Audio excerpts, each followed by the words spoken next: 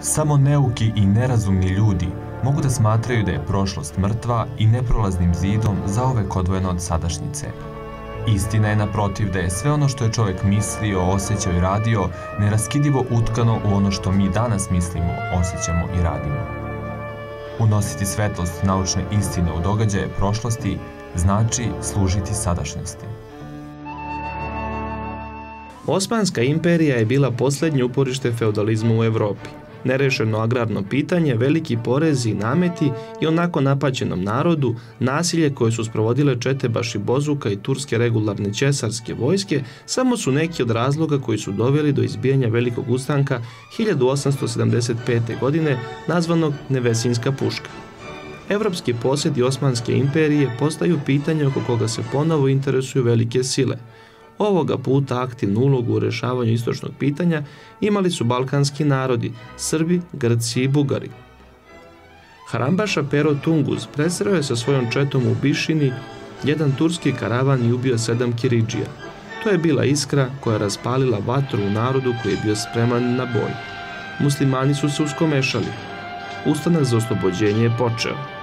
Vođe ustanka bile su Mićo Ljubibratić, Lazar Sočica, sveštenik Bogdan Zimović. Kneževine Srbije i Crna Gora nisu smele da se aktivnije uključu ratna dešavanja usled nespremnosti državnog aparata. Slovenofilski krugovi na Balkanu i Rusiji organizovali su komitete preko kojih su se slali dobrovoljci u Bosnu i Hercegovinu. Srbija i Crna Gora su pod pritiskom javnosti događaja sklopili savez i vojnu konvenciju, nakon čega su objavili rat Osmanskom carstvu sredinom 1876. godine. Glavnokomandujući srpskom vojskom, direktno odgovoran knezu Milanu Obrenoviću, bio je ruski general Mihajl Černjajev, koji je sa nekoliko hiljada ruskih dobrovoljaca stigao u Srbiju. Usled dogovora Austrougarske i Rusije u Rajhštatu o podeli interesnih zona na Balkanu, Srbija je bila primorana da ratna dejstva usmeri prema južnoj granici svoje države. Na sebe je na taj način privukla brojniju i organizovaniju osmansku vojsku nego što je to bila srpska narodna vojska. Uprkos pobedi srpskog oružja na Šumatovcu, usledila katastrofa kod Đunisa. Mržnja osmanske vojske ispoljila se prema narodu istočne Srbije. Samo zahvaljujući intervenciji Rusije, Srbija je sačuvala svoju autonomiju i potpisala mir bez političkih posljedica marta 1877. godine. U vreme opsade bugarskog grada Plemne, Rusko carstvo tražilo je od Srbije da uđe u rat. Iscrpljena i zastrašena kneževina Srbija u decembru odpočinje drugi srpsko-turski rat. Tokom dva meseca ratovanja u nezadrživom jurišu oslobođeni su Niš, Pirot, Vranje i Leskovac. Srpska vojska nakon više vekova robovanja stigla je na domak Prištine. Osmansko carstvo sa Ruskim potpisalo je mir 3. marta 1878. godine u San Stefanu kod Carigrada. Srbija nije bila zadovoljna odredbama mira koji je predviđao stvaranje Velike Bugarske. Odnosi sa Rusijom su se pogoršali. Velike sile među kojima je prednjačilo Nemačko carstvo u saradnji sa Velikom Britanijom i Austro-Ugarskom juna meseca 1878. godine organizovale su Berlinski kongres na kome je revidiran San Stefanski mirovni ugovor. Pod predsjedništvom nemačkog kancelara Ota von Bismarcka stvorene su nezavisne Srbija, Crna Gora i Rumunija. Organizovane su autonomne kneževine Bugarska i Istočna Rumelija. Srbija se proširila za četiri nova okruga, Niški, Pirotski, Toplički i Vranjski. Austro-Ugarska je stekla pravo da okupira Bosnu i Hercegovinu. Knez Milan Obrenović postao je prvi vladar samostalne Srbije nakon srednjeg veka. Država je bila prinuđena da menja politički kurs od rusofilskog ka austrofilskom. Austro-Ugarska okupacija Bosne i Hercegovine izazvala je ogorčenje kod romantičarskih krugova srpskog naroda. Okolnosti pod kojima je Srbija stekla nezavisnost kod vladajuće elite unosile su nezadovoljstvo. Vojsku je trebalo reformisati. Politički kurs se mora okrenuti prema Austriji, a na Srpsku Bosnu i Hercegovinu trebalo je zaboraviti na neko vreme. Međutim, političko i ratno iskustvo koje je srpski narod stekao bilo je od nemerljivog značaja za godine koje su usledile. Crnogorci su svi Srbi zakona grčkoga, samo u kućima ima nešto ornauta rimskog zakona. Koliko svega ima Crnogoraca, to se još za sada upravo ne može kazati, nego se od prilika misli da će ih biti do 100.000 duša i među njima oko 20.000 pušaka. U Crnoj Gori je prvi i najviši starješina ili upravitelj mitropolit, koji se obično zove vladika. Kad crnogorci s njim govore, kažu mu sveti vladiko, a između sebe kad ga spomenu zovu i gospodarom. Njegova je sad obična titula vladika crnogorski i brdski, a kao što se i riječima vladika doda i upravitelj. U trenu rađanja naše planete, najlepši susret kopna i mora desio se u Crnoj Gori. Reči su Lorda Georgia Gordona Byrona. Upravo u ovim brdima više mora, nakon nestanka srpske srednjovekovne države i njenog utapanja u Osmansko carstvo, očuvala se izvi iskra srpske slobode. Zbog specifičnog geografskog položaja, nerazvijene privrede, siromaštva, ratova protiv Osmanlija i gorštačkog mentaliteta, Crnogorci su sve do početka 19. veka živeli podeljeni u plemena. Izvesna samostalnost plemena u kojima se vladalo prema običajnom pravu, na čelu sa plemenskim starešinom, bila je i kočnica u ujedinjavanju srpskog naroda na ovom prostoru. Među plemenima često je dolazilo do sukoba i krvne osvete. Glavno sastajalište plemena bio je zbor na Cetinju kojim je predsedavao vladika iz Cetinskog manastira. Njegova uloga bila je dvojaka, jer su se u njegovoj ličnosti stapale funkcije crkvenog i svetovnog poglavara. Godine 1697. za vladiku, a ujedno i vladara Crne Gore, izabran je Danilo Petrović Njegoš, čime je počela borba za crnogorsku samostalnost unutar Osmanskog carstva. Za potvrđivanje svoje titule, vladika Danilo obratio se srpskom patrijarhu Arseniju III. Čarneviću, koji je sa narodom u velikoj seobi Srba izbegao u Austriju. Vladika Danilo pokušao je da ujedini plemena radi borbe sa Osmanlijama, a za njegovu vladavinu se vezuje i poznata istraga Poturica, koju je u delu Gorski vijenac opisao Petar II. Petrović Njegoš. Osnivač dinastije Petrović Njegoš, vladika Danilo, preminuo je 1735. godine. Sahranjen je na Orlovom kršu iznad Cetinskog manastira. Nasledio ga je sinovac, vladika Sava Petrović. Mi smo ljubezna braćo Crnogorci, čuli da imamo hristijanskog cara na sjevernu stranu svijeta, Bog zna koliko daleko. I vas da smo željeli za njega i za njegovo carstvo znati, no kako smo u ovim gorama sa svake strane zatvoreni, tako nijesmo mogli ni od koga ništa razumijeti i nama se činilo da on za nas, kako za jednu šaku maloga među zmijama i skorpijama zatvorenoga naroda, ne može ništa znati i da njegovi poslanici ne bi mogli do nas doći. Zato smo dužni mi i svaki hristijanin u svijet ne samo Boga neprestano moliti da On bude car u našem predvoditelj, nego i svaki po svojoj mogućnosti da se prigotovi i duhom ne ustraši me hrabrost i mužestva protiv opštega hristijanskog neprijatelja oruža i ako tako učinimo, mi ćemo se krusima, krusi k nama, pri pomoći Božoj približiti, da ne budemo jedni od drugih daleko i Bog će biti nama pomoćnik. Kako smo s Rusima jedne krvi i jednog jezika, tako i susjedstvom da se približimo. Vreme vladavine vladike Save i njegovog brata Vasilija poklapa se sa vremenom kada se Crna Gora sačinjeno četiri nahije, Katunske, Riječke, Lješanske i Crničke, otvara ka Ruskom carstvu i kada je uticaj Rusije i tekako primetan. Vladika Vasilije svojim delom Istorija o Černoj gori pokušao da se Rusiji prikaže kao vladar jače države nego što je to Crna Gora u tom trenutku u istinu bila. Godine 1766. preminuo je u Rusiji gde je i sahranjen. Za Crnu Goru nastupaju smutna vremena.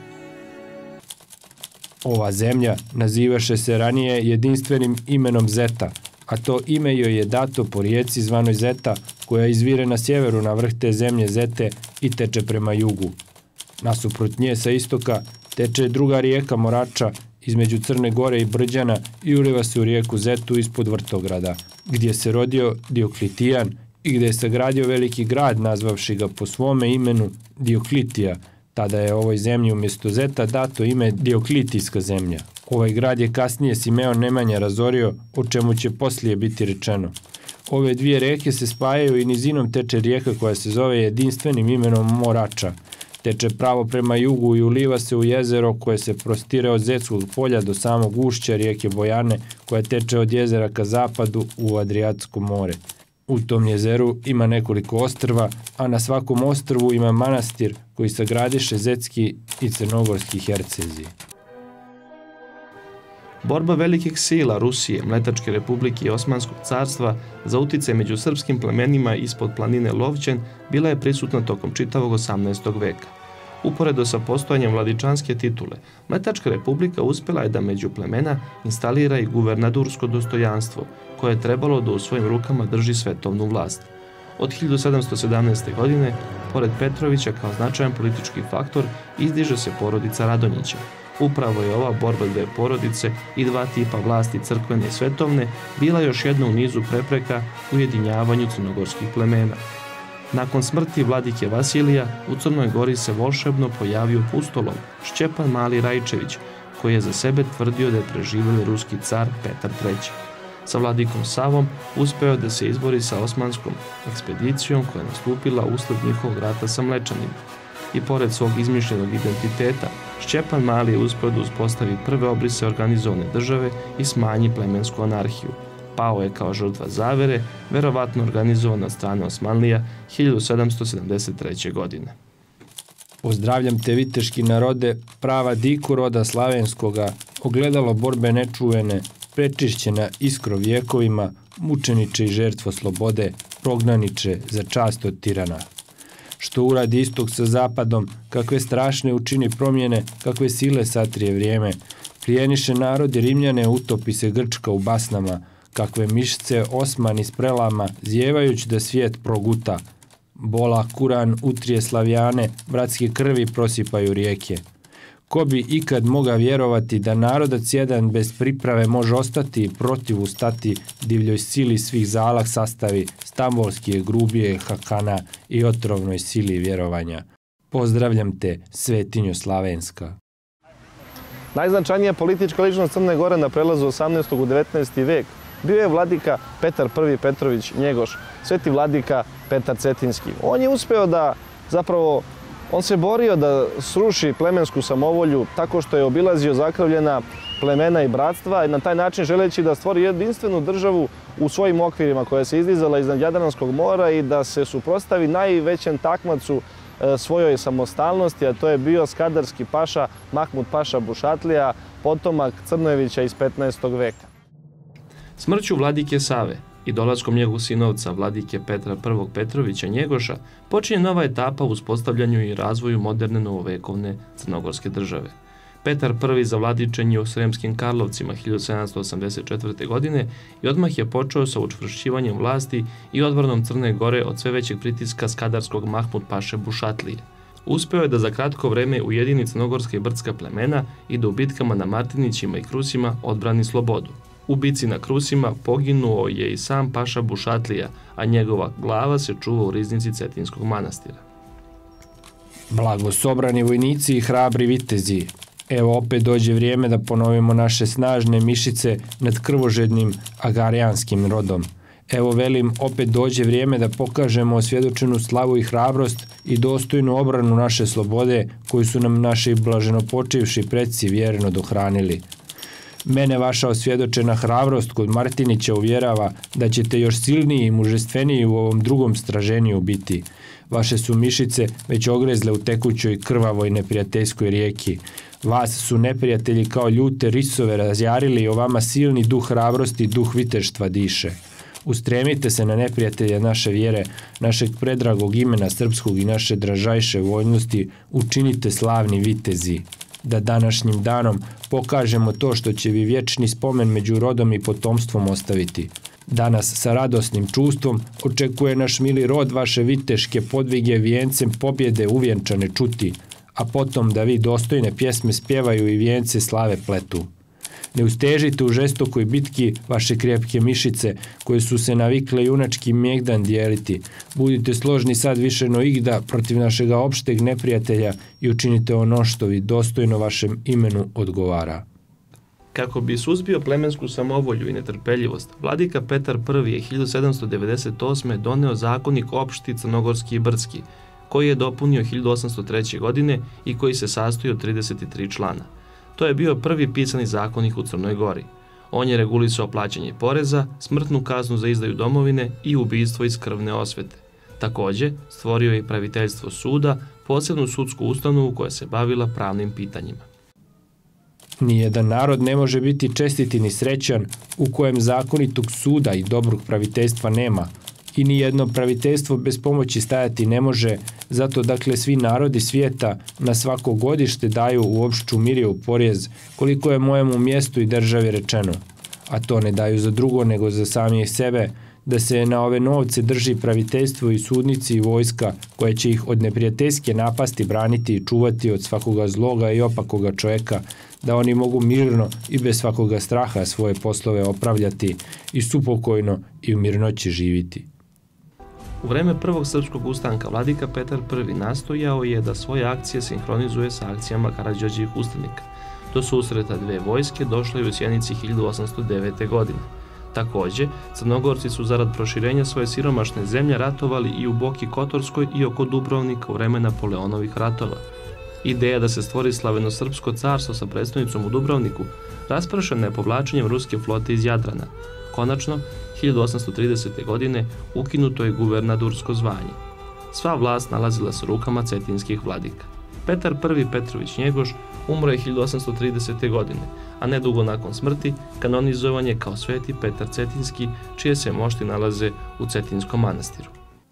U leto 1816. godine vladika Petar I Petrović uputio je knezu Milošu Brenoviću pismo u kojem ga moli da primi u Srbiju nekoliko porodice iz premena drobnjaka.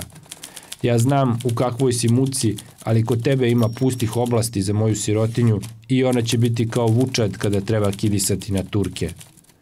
Krajem oktobra knez Miloš je odgovorio, mi smo jedno i od jednoga, neka dođu i primit ćemo ih kao rođenu braću. Na tronu cetinskih vladika od 1830. godine nalazio se vladika Petar II. Petrović Njegoš, sinovac svetog Petra Cetinskog.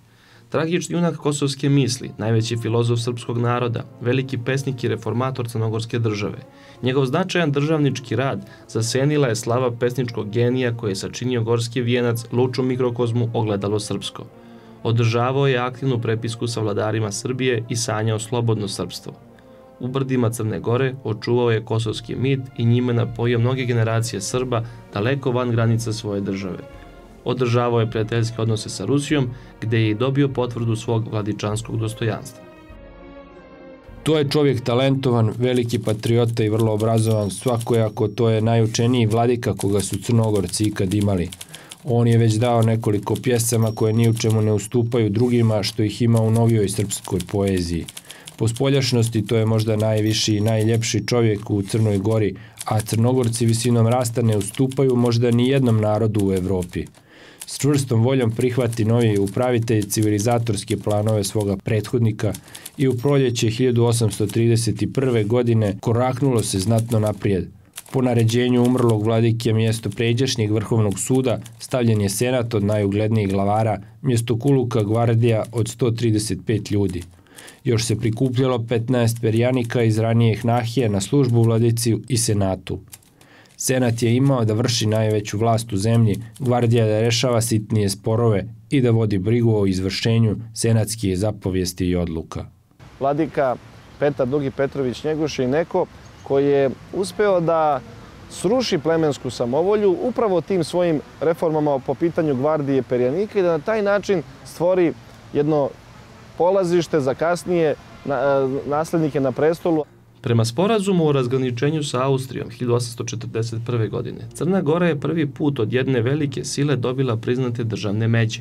Na unutrašnjem planu vladika Petar II. uspostavio je praviteljstvujući senat Crnogorski i Brdski. Takođe, organizovani su i perjanici i gvardija, oružani odredi za održavanje reda i mira i poštovanje zakona među plemenima – Sedište vladike senata nalazilo se u Biljardi, zgradi koja je uz pomoć Rusije izgrađena na Cetinju 1838. godine. Vladika Petar II. Petrović Njegoš umro je 1851. godine, a njegove mošti nalaze se na planini Lovća. Srpske stvari koliko su nazadne u našem vijeku nije čudo, e, me je gotovo umorila ova krvava i burna katedra na kojoj sam se popeo, evo 20 godina. Svaki je smrtan i mora umrijeti. Meni nije Čeha sada žao ne bi bilo do što nijesam napredak u cijelom narodu našem vidio i što mi se nije dalo da na neki način osnovu utvrdim unutrašnjem upravljenju crnogorskomu. Nema jednoga Srbina kojeg srpstvo iskreno ljubi i počituje od vas, a nema ni jednog Srbina koji vas više od mene ljubi i počituje.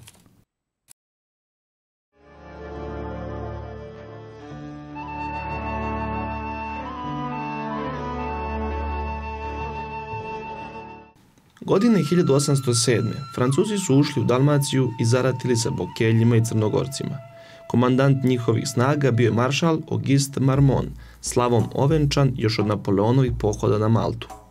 Marmon se tada radi pregovora sastao sa crnogorskim vladikom Petrom I Petrovićem, istim onim koji je crnogorsku vojsku u bojevima na Krusima i Martinićima predvodio po sećanju savremenika držeći u jednoj ruci sablju, a u drugoj krst. Francuski maršal je u žustrom razgovoru optužio Crnogorce da su necivilizovan, surov i divljački narod, jer seku glave ubijenim neprijateljima. Tako su navodno usmrtili jednog francuskog generala. Vladika mu je odgovorio da oni samo uzvraćaju istom merom na način na koji neprijatelji čine sa zarobljenim crnogorcima. Uz to, vladika Petar I nije zaboravio da francuskog maršala podsjeti na još jednu činjenicu, da crnogorci seku glave svojim dušmanima, ali ne i svojim vođama, a da su taj varvarski čin mogli naučiti samo od Francuza koji su usred Pariza svega 15 godina ranije u revoluciji čije tekovine slave odrubili glavu svom kralju i kraljici.